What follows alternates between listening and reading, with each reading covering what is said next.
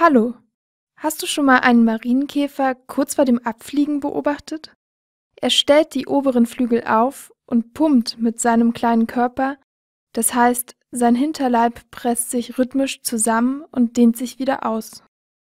Warum das fürs Fliegen wichtig ist? Wie viele Flügel Insekten haben, wie diese gebaut sind und wie Fliegen bei ihnen funktioniert, das alles lernst du in diesem Video. Wie auch Fledermäuse und Vögel können sich viele Insekten durch Fliegen fortbewegen. Doch ihre Flügel dienen nicht nur zum Fliegen. Käfer zum Beispiel haben zwei Flügelpaare. Die harten Deckflügel bedecken das zarte zweite Flügelpaar. Den kompletten Film und viele weitere findest du auf www.sofatutor.com. Über 7000 Lernvideos erklären dir, was du für gute Noten wissen musst.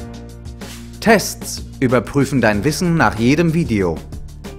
Echte Lehrer helfen dir im täglichen Live-Chat sofort bei deinem Problem. Du kannst außerdem Privatstunden bei deinem persönlichen Online-Tutor buchen, um tiefer in ein Thema einzutauchen. So helfen wir dir, deine Zensuren ohne großen Aufwand zu verbessern. Probiere es am besten sofort aus auf www.sofatutor.com.